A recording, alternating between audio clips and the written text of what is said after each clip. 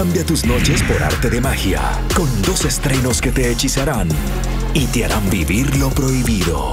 A las 7 de la noche, La Bruja. Es el demonio encarnado en mujer. Y a las ocho y media, No dejo de pensar en ti desde esa noche. vivirás la pasión de lo prohibido. Este lunes, lo prohibido te hechizará, solo en Canal 1.